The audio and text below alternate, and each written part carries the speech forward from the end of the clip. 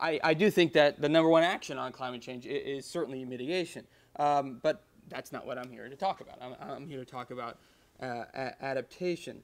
Um, and as we've seen a little bit uh, already this morning, um, uh, as was mentioned in, in, the first speakers, uh, obviously climate change adaptation is of a global concern. Uh, and, and, many of you uh, are coming from countries where obviously it's a particularly acute concern. Um, and it is part of the international framework. Um, but uh, my expertise is in uh, the U.S. regulatory system. So uh, my focus will be on the U.S. regulatory system, which I uh, uh, which I know uh, better, but with an understanding that many of the assessments that I'm going to be making, and perhaps even some of these, the, the solutions that I see, hopefully will be applicable in other national regimes as well.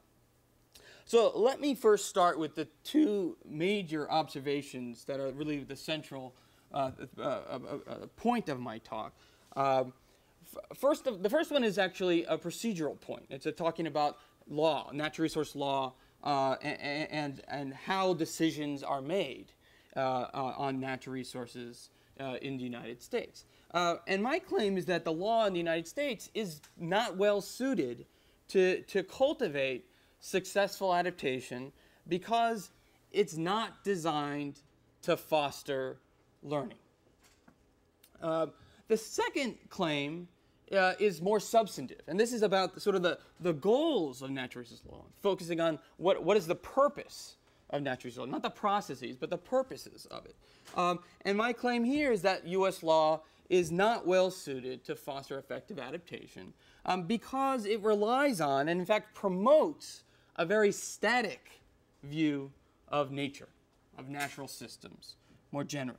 Uh, and this, both of these themes, I think, are echoed in a lot of regulatory regimes throughout the world. So in my, in my remarks, uh, I'm really going to talk about and explain these two ideas a little bit more in, in, depth, and then explain how they're actually connected to each other, both the processes and the problems that come from it, uh, and, and, the, and the purposes of, of the law, uh, how they're connected to each other, and then explain how the relationship shows how natural resource law needs to change in order to foster more effective natural resource preservation, uh, conservation, uh, and, and, and, uh, a better way of, of, for us to have to uh, adjust to some of the problems that are going to occur with climate change. Now, as I mentioned at the beginning, obviously, mitigation is vital to this question because how much mitigation occurs will largely set the table for how much adaptation is going to have to occur.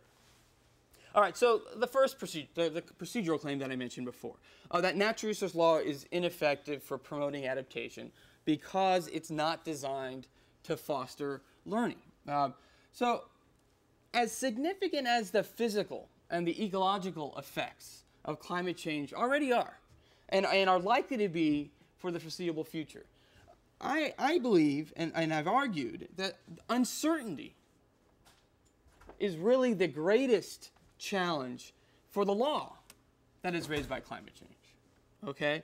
Uh, this is uncertainty regarding not only climate change's local effects, um, but also uncertainty regarding how effective are potential strategies for adapting to, to the, those, those wide changes.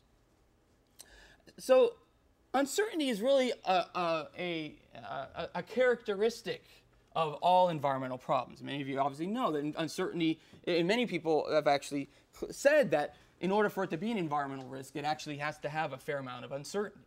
Um, so, but climate really introduces many more complex and, and confounding variables than typical environmental issues.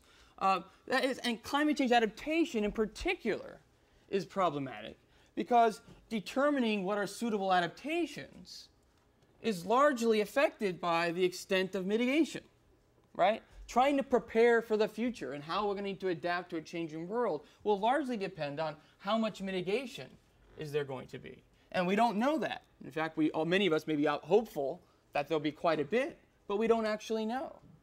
So knowing what adaptation strategies to adopt, whether to, to, to restore certain mangroves, when we don't actually know if 50, 100 years from now, whether, those, whether all that work is wasted is really problematic. And it's important to also know that for adaptation, even more than for climate change mitigation, where there's a lot of uncertainty regarding global models, adaptation requires downscaling, localized models. And, and, and, and in order for those models to be effective, they need to be accurate, obviously. But unfortunately, it's quite difficult to localize uh, those sorts of effects. Uh, so that current models are quite unreliable. And, they're, and, and uh, in fact, uh, they still are fairly rare, uh, certainly much more so than global climate modeling, although that's getting better.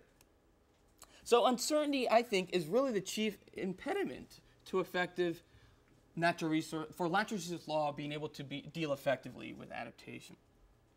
And uh, so much so that I think scientists are really being challenged to reconsider long-held assumptions that they've, that they've often held and long-held methodologies that they've relied on. Uh, and regulators, managers are really being asked to prepare for problems that they haven't ever faced before. So in this sense, climate change adaptation really demands coordination and the mobilization of information to a degree that's never been attempted before. Now, I insist that the most important strategies for effective adaptation, therefore, are those that help reduce uncertainty and that uh, uh, promote learning by managers and stakeholders in particular problems. And unfortunately, when we look at resource law, at least in the United States, but I suspect in many, regu- in many areas, it's pretty poorly suited to deal with and to promote learning. In the US, this is really because of two different features. Um, the first is really that agencies are really slow to adapt to new information or change circumstances, okay?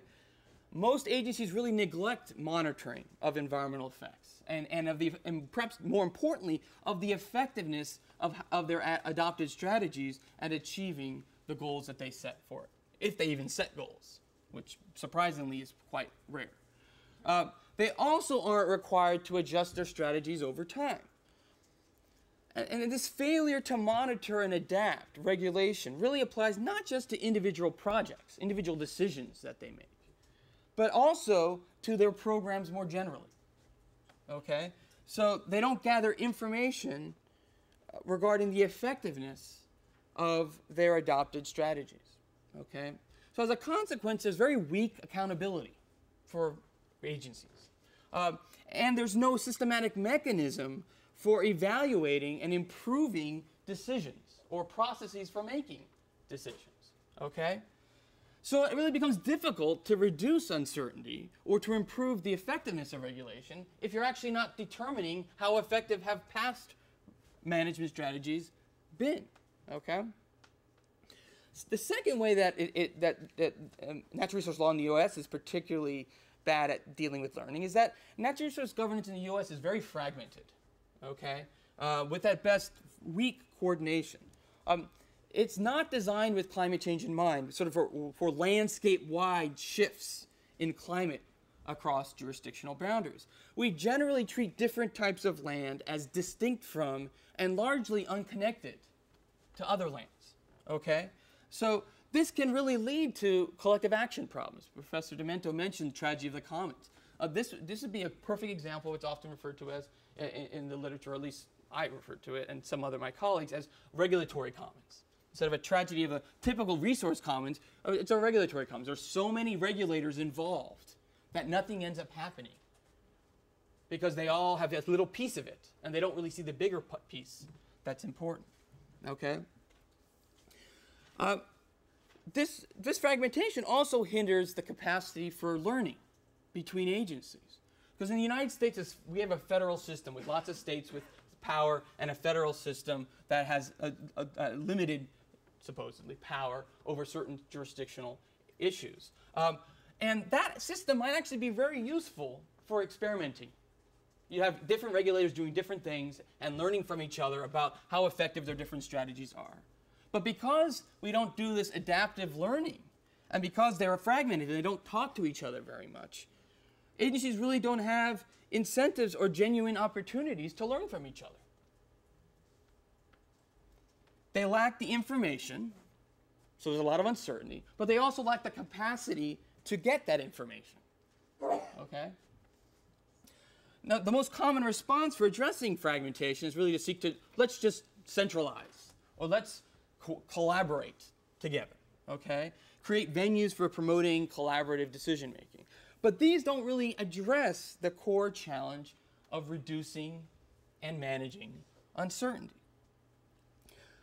So that's the first sort of critique of, of, of the law in, uh, uh, in the United States and how, how it, it, it's placed to deal with uh, uh, uh, learning and uncertainty. Uh, in addition to these sort of procedural shortcomings, I also argue that natural resource law in the United States is badly fitted for addressing the effects of climate change because of its goals, because of its objectives. Okay?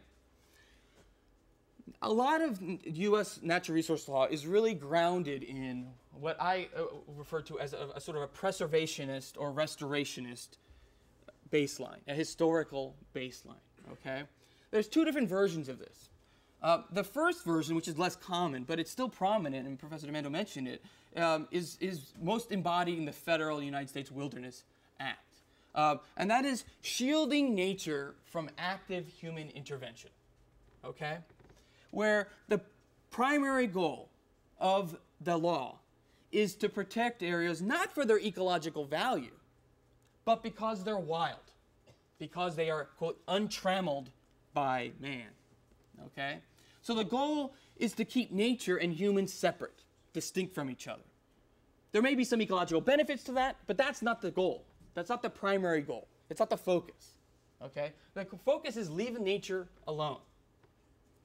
And as such, this what I call wildness preservation really relies on a human nature dualism. Okay, humans are separate from nature; they don't belong in the same place. Okay.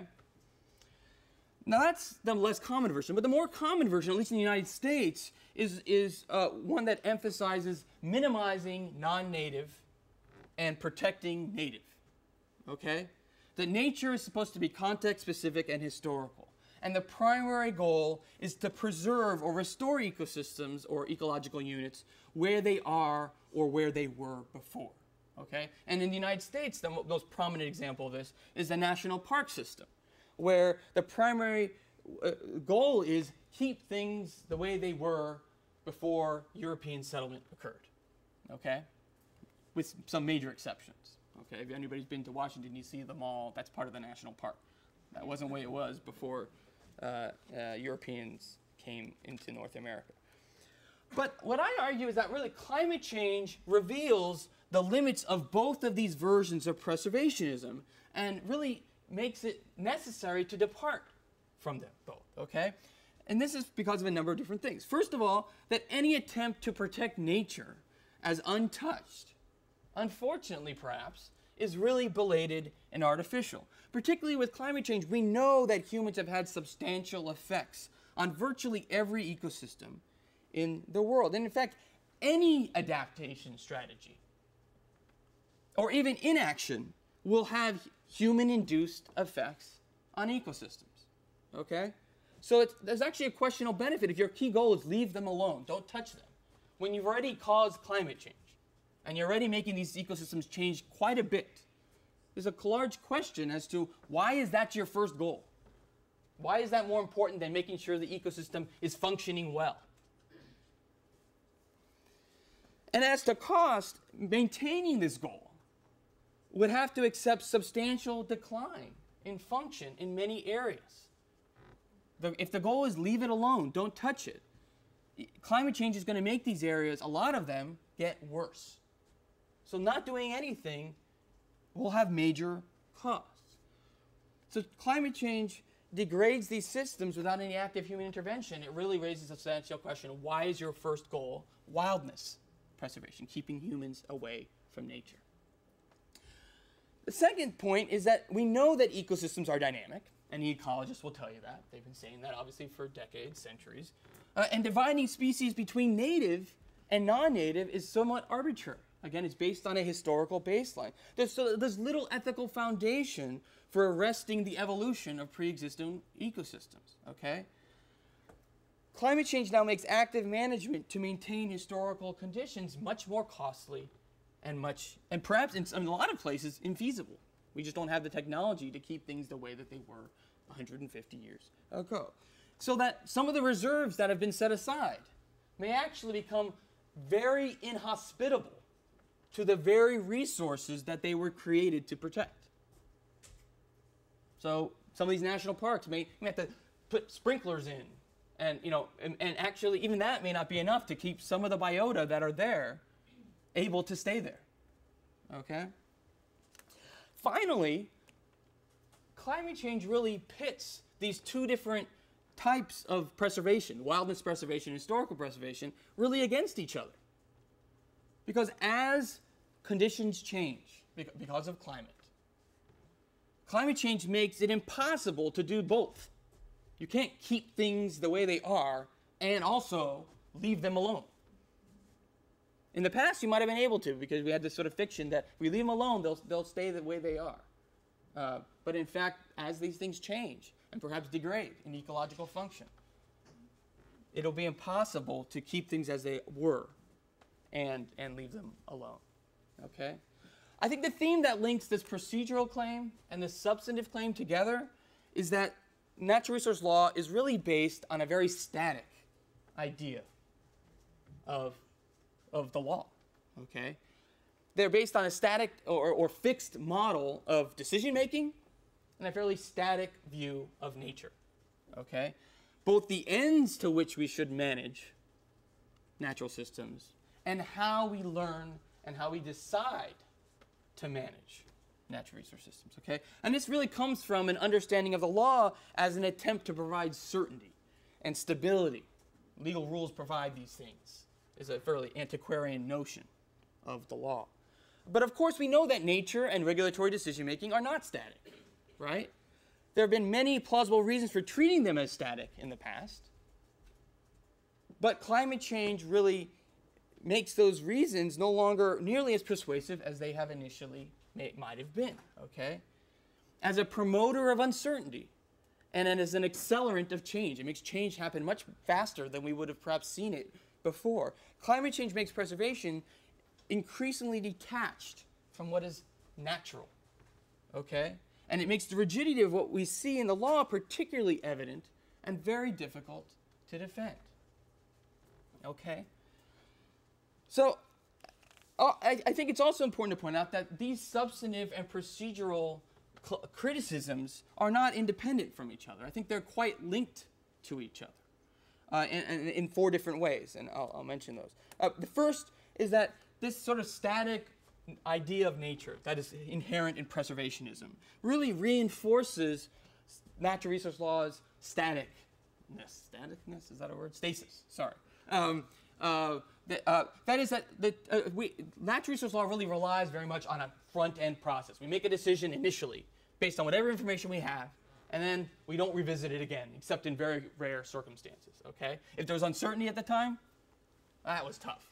But once the decision is made, we very rarely go back and revisit it and learn from it. Okay? Um, this really relies on a premise that things don't change a lot. Okay? In a way, historical preservationism serves as a justification for a static regulatory process. But at, we know that natural, natural systems do change, so it makes this justification a lot weaker today. Second, this sort of static idea of nature that's inherent in preservationism is really compatible with the fragmentation, that segmentation that we see in the law of different jurisdictions, different pieces of lands being treated differently. Okay? Given nature's dynamism, historical preservation is really only possible if lands are segmented from each other. Okay? So we treat different types of lands as distinct from and largely unconnected to each other. Okay? But once we accept that biological systems will need to change or shift to accommodate climatic shifts. Then we need to either depart from the segmented and preservationist focus or accept massive declines in ecosystems, in ecological function. Okay? Third, this dualism that I mentioned, the dualism that we keep, keep nature and humans separate from each other, has really influenced and contributed to this segmentation of different lands. Okay? This dualism really led natural resource law and policy to segregate built urban landscapes, agriculture, from natural landscapes. Okay? We need land segmentation to achieve this sort of non native human nature distinction. Okay? So we create areas where non native is acceptable and prevalent. Cattle in North America, wheat in North America, all over the place. Non natives. It's okay, though, to have non natives in those places. Obviously, you might say humans are non natives, right? It's okay to have non native in those places. But in these other areas, non native is terrible.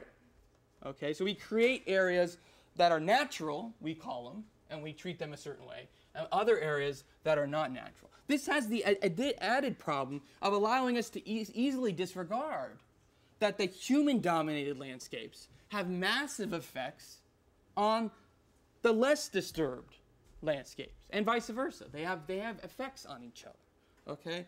And it makes it difficult to shift to respond to climate change, even if we recognize that there's a connection. The last way I think that they are linked to each other is that both of them really devolve a lot of control to experts. Okay? By not focusing on requiring agencies to monitor, to revisit, to adjust their decisions, and, and to learn, without, requiring agencies to learn, this makes agencies less accountable to the public. Okay? And this goal of preservationism, I argue, is actually also very much based on expertise. Because what you're doing is you're saying, ecologists, tell us what this system look, used to look like 100 years ago, and that's our goal. And it's putting the entire determination about what we care about and why our ecosystem is valuable in the hands of a person that we say, you need to go back and tell us what used to be there before. It's making what, you, what is or what was what should be. Okay? This is treating ecology as uh, I, I, call it, I mean, it's, it's treating ecology as a normative science rather than a descriptive one. Okay? And natural resource management then becomes the province of ostensibly expert managers. Okay? Because these ideas reinforce each other, the, the substantive claim and the procedural claim, the solution, I think, to law's defects in addressing climate change are really linked too that we need to refashion natural resource law uh, and, and, management to be better adapted to a dynamic world, to change both the means and the ends of, of the law. Now, on the substantive side, I think natural resource law needs to move more towards an understanding that in some circumstances, active management is acceptable, okay? That the primary goal shouldn't be how to leave nature alone or how to keep things the way it was before it should be how to manage it in a way that promotes desirable future ecological conditions, given climate change and other stressors. Okay, so the primary focus would be to ensure that the ecosystem is healthy under future conditions. Okay, and where this can't happen through passive management, active, some more active approaches may be warranted. Okay, now such a major shift, at least in the U.S., raises lots of fundamental questions, okay? And he, here are a few that I'm not going to answer. Um, what, what should a concrete forward-looking goal look like, okay? What's valuable about the various natural resources that, that we might protect? How do we evaluate ecosystem function, ecosystem health, ecosystem quality? Does it mean maximizing productivity? Does it mean maximizing biodiversity? Does it mean something in between, some fraction of each? Second, how should we make trade offs between competing resources or, or different ecosystem services, as they're often called? Okay? How do we evaluate market based values alongside other non market values? Okay? And how should we decide the distributive effects? How should those should be incorporated into the analysis? Okay? But I argue that these are not scientific, objective determinations. What climate change makes clear is that ecology and natural resource management should not be left solely to an expert, an economist, an ecologist. These natural resource goals are not determinable solely by reference to scientific or management expertise. Scientific, I don't want to say just that scientific data or, or, or technical knowledge are not critical, because they're obviously critical to making these important decisions. But these are democratic decisions. They're not, they're not substitutes. Okay? The values and trade-offs involved are public policy decisions. So because this vision of natural resource law and management cannot depend solely on expertise to set the goals, it really emphasizes that the core function of the law, of natural resource law environmental law, has to be improving the process of decision making. Okay? In my work, what I do is I, I, I end up proposing an elaborate framework, which I don't have time to talk about really, um, uh, uh, for improving the process of, of natural resource decision making. Um, it really involves two different aspects to it. The first one is what I call an adaptive governance framework, which requires and promotes monitoring, adjustment, assessment of, of, of government strategies over time. Uh, and this includes not just at the individual resource decision, but throughout the regulatory process more generally, even agencies themselves. You would think we would want to evaluate how effective our agencies are at achieving their statutory goals, but we don't, at least in the United States, and I suspect in most other uh, nations as well. Um, I argue that this really, that sort of evaluative process really helps to reduce the amount of uncertainty that exists on general conventional natural resource decisions, but certainly in the climate change context as well. Second, I argue for there needs to be a development of a, a shared and public and interactive information network that collects and disseminates this information more broadly. Okay, so it, we get the benefit of having lots of different regulatory institutions, different managers trying different things in different places, but actually learn from each other rather than just each doing their own thing and nobody ever learning about what the value is of each person doing other things other than anecdotally but because they happen to know somebody in a different country or a different state that's doing something different. A more systematic process of information sharing and, and, and dissemination. Um, uh, i think this would allow for decisions to remain local providing opportunities for experimentation but uh, actually promoting learning between these many different authorities. Okay, I think such a framework, obviously, I, I, I've argued for it in the context, in the domestic context, but I think it would fit well, obviously, internationally as well. Uh, I think it would help increase information to the public about the trade-offs of strategies and the value of ecological systems. I think it would promote opportunities for learning and collaboration among different authorities uh, while accommodating the benefits of having decentralized authority. Uh, I think it would help cultivate agency accountability and, and government uh, uh, agency learning. And I think it really provides a framework for establishing priorities for natural resources, uh, which is really what we need to be focusing on in discussing how the world is changing and how we want it to change moving forward. Um, so with that, I will stop. And if there aren't any questions, happy to talk about it. If there are polemics levied against me, that's I'd love to hear those as well. So, yeah. Oh, sorry. Yeah. Uh, can the ecosystem be a low, low entity? A low entity? Yeah, by its own. Like, like Oh, oh. Like a country. Okay. be an ecosystem? Well, this is getting a little bit back. Up. Professor DiMento had a thing up there. Should trees have standing? Um, there are there is obviously a large there's a growing literature on environmental philosophy as to whether not just an individual organism, but more generally, can an ecosystem have standing? And standing went to me not just legal standing, but of course standing, you know, moral standing as well. Uh, certainly, in the United States, the answer is no. Uh, and I suspect in most jurisdictions, an ecosystem having standing is not likely to. Legal standing would be quite uh, unlikely. Um, the problem with, of course, is, uh, is determining who gets to decide or who speaks for the ecosystem, right? And, and, and that's that's one problem. But the second part, of course, is that if we all agree that ecosystems are dynamic, so they change, how do we know what's good change and what's bad change? So even if we could say that somebody, we- appoint a trustee who decides for that person, for that ecosystem, there are different constituents, right? So what is an ecosystem? Okay, an ecosystem isn't by itself, right? There are ecosystems next to it, and they there's there's cross pollination, right? And as climate changes, as it has for millions of years, how do we know which are the good changes and which are the bad changes? How, uh, and this, these are normative determinations that e- ecology can't tell us because ecology is, is, is, is, a descriptive science about what change, when changes occurs. Uh, but attributing good to, or bad is something that we haven't spent much time at in the law and more generally. And what I'm arguing many times is part of the reason why is that in the US at least, but in a lot of places, what we say is what should be 100 years from now? Well, we don't know. We don't want to argue about that. So let's just look at what it was there 150 years ago, and that's what we're going to do. Okay? That only works if what it was there 150 years ago should be there for millions and millions of years. But once we start saying that those ecosystems are supposed to change, they go some things go extinct, something everything dies, things mo- move.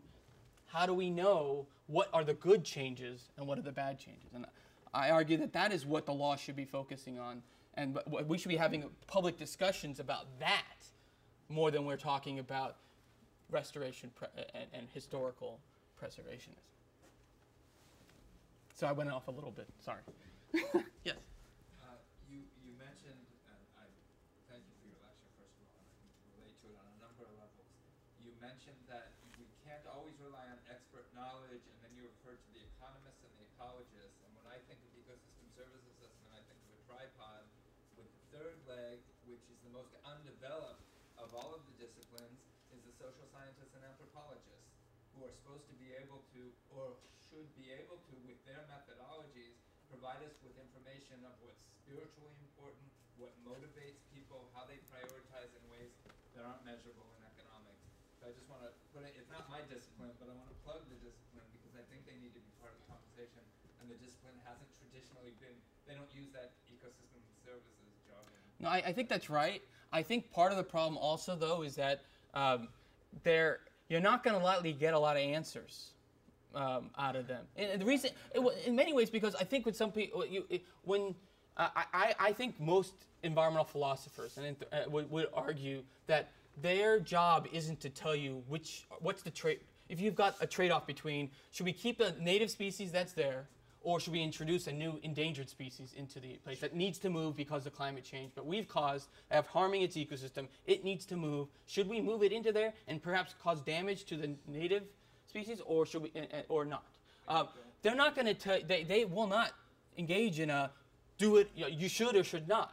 Um, they're they, in many ways, they, they would tell you that it's not their job to tell you the right or wrong answer. It's more like a psycho- speaking to a psychologist. You say, the psychologist doesn't tell you do this, do that. It tells you, well, how does that make you feel?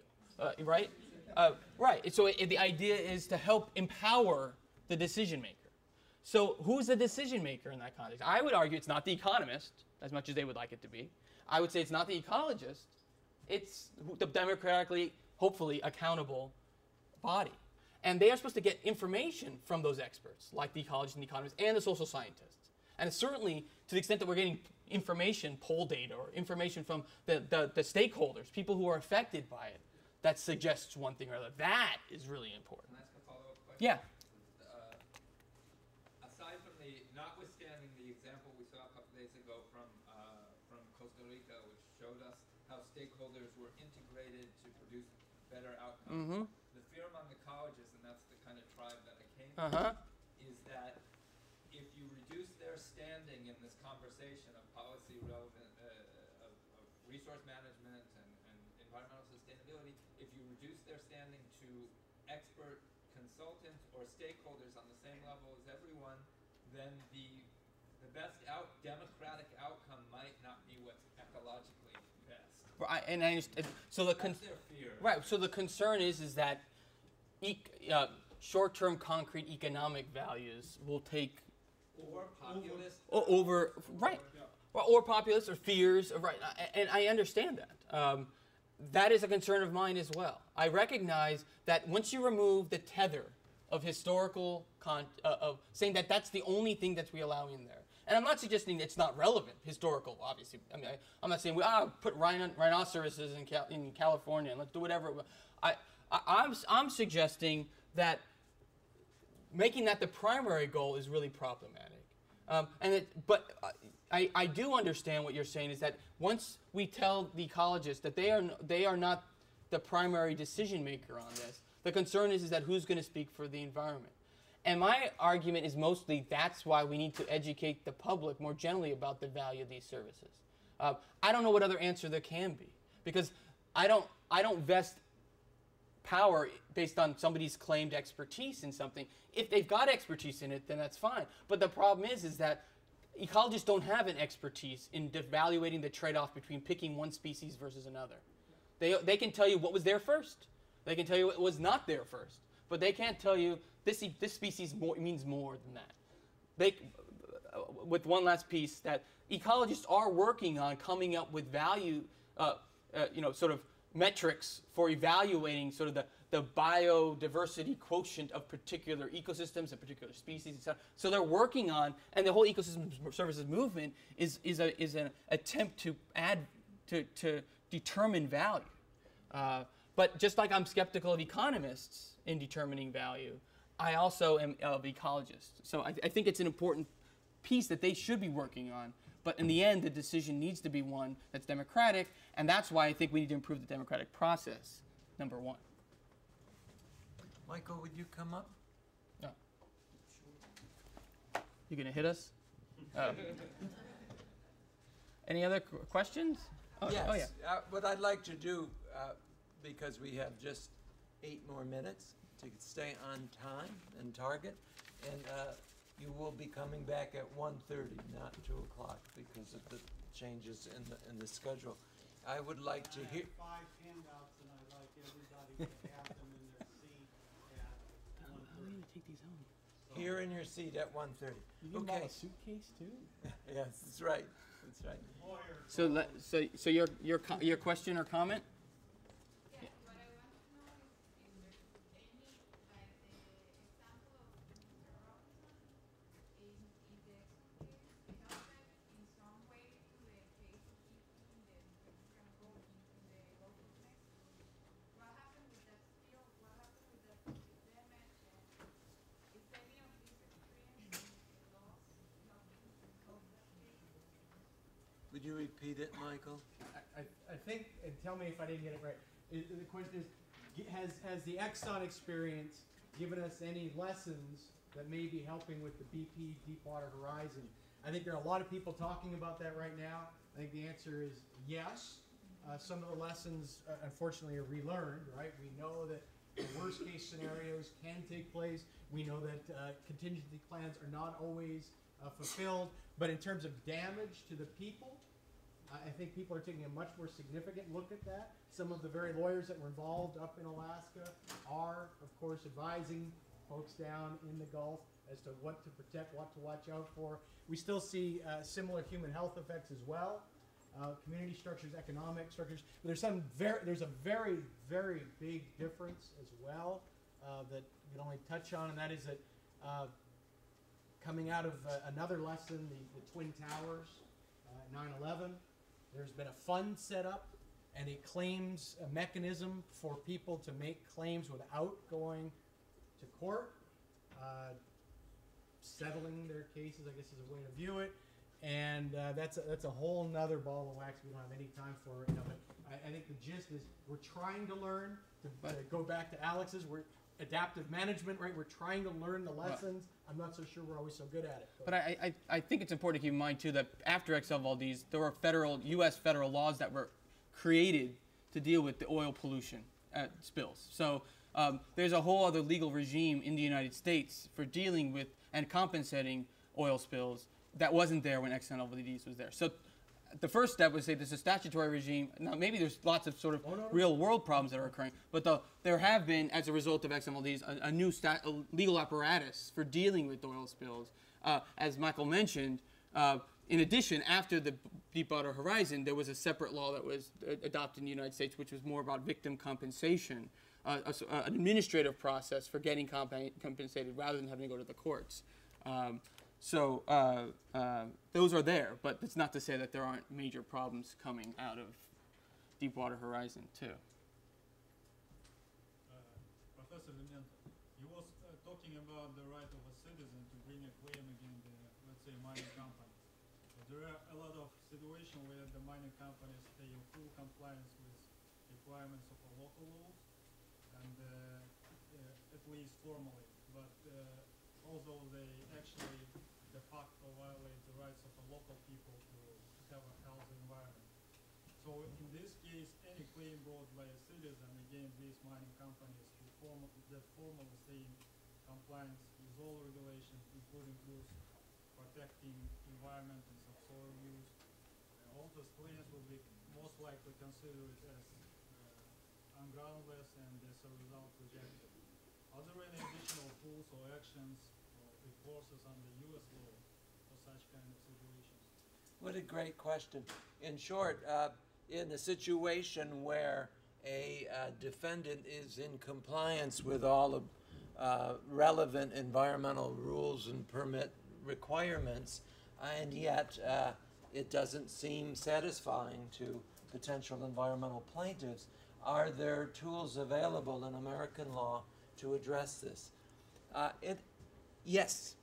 And uh, this goes to the question of are there constitutional rights to a clean environment? And it goes to the question of state statutory law.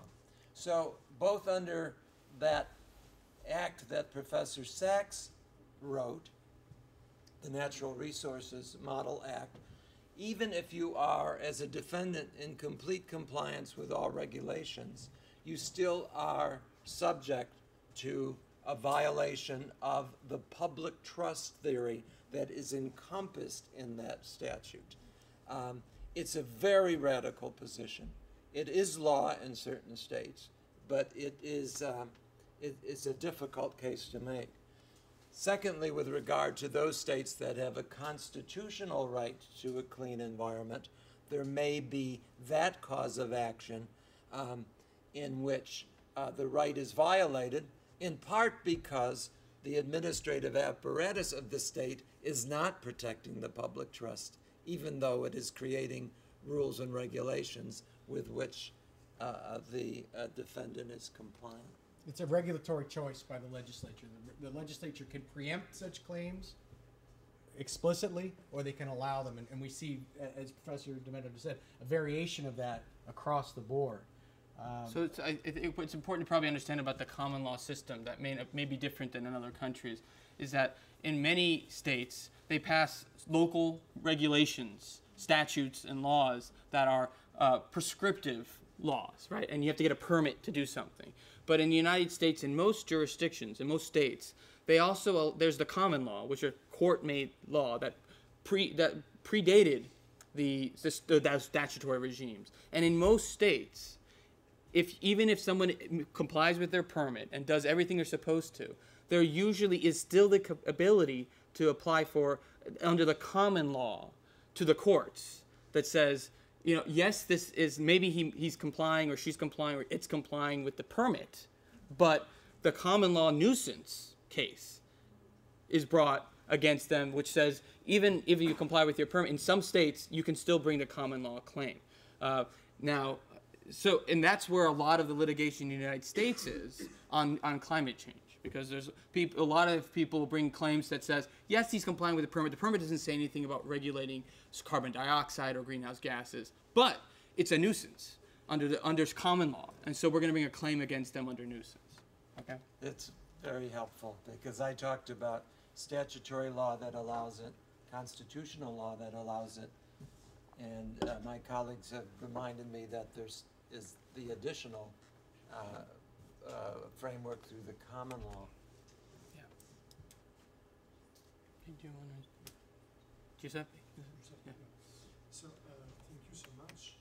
I come from Italy and the Italian system is a very centralized one. Mm-hmm. So I looked at the regulatory system as um, brother system in order to preventing environmental damages.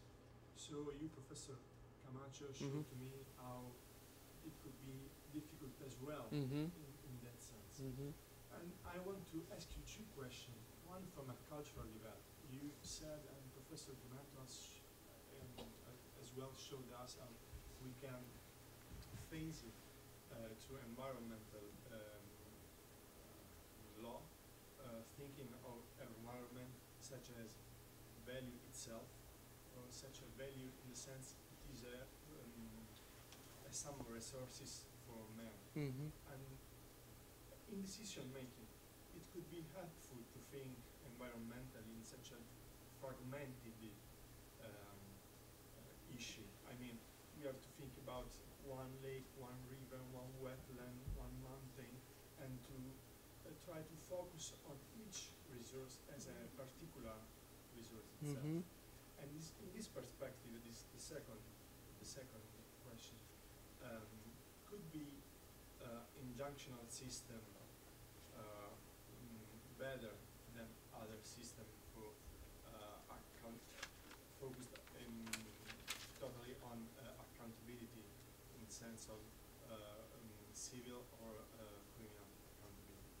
So I'm, I'm, I guess I'm, I'm not I, I'm not sure the, on, on the second point. But I, I but- think a system based on injunction and such as of court if you are not um, complaining with the the, uh, um, the behavior uh, an agency or uh, maybe another um, government or uh, administrative government tell you to behave in that way.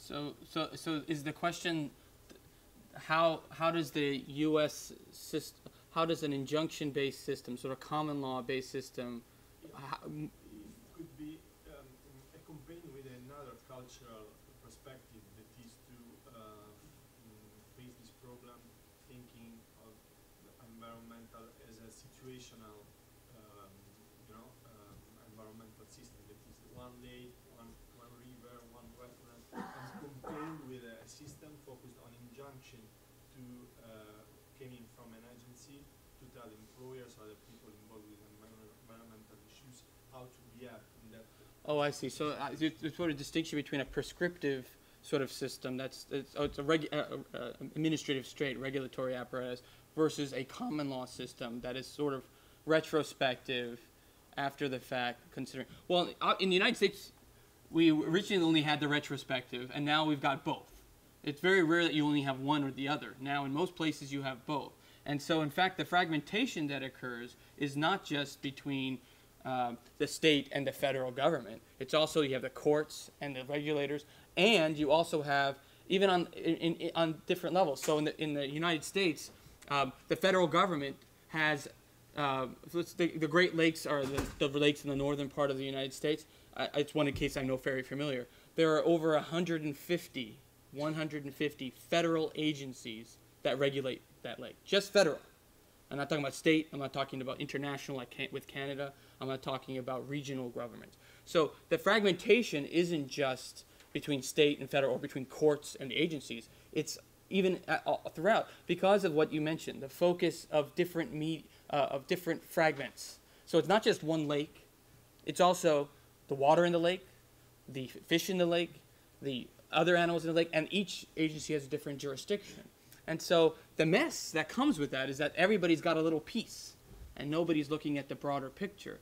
And sometimes uh, the courts end up playing a role of, of a background of, okay, you each are only looking at little things. Let's rely on the court to sort of, who's a generalist, who isn't a specialist on a fish or water, to sort of take a step back and say, you know, that's, this is the broader picture that we need to And, think and about. in our system, in certain situations, the court can establish a mechanism to focus on more than one media. I talked about the transportation case in, in lawsuits challenging the destruction of urban regions. The court has brought together all the stakeholders and create, had them create a consent agreement so that you're addressing the housing issues, the employment issues, the uh, discrimination issues, and the environmental issues. So those powers are there if the court chooses, if certain courses, courts choose to employ them. Are we done on time? we should uh, let you have time with each other over lunch and come back to hear this extraordinary talk on religion and climate change. Thanks for your patience. Thank you.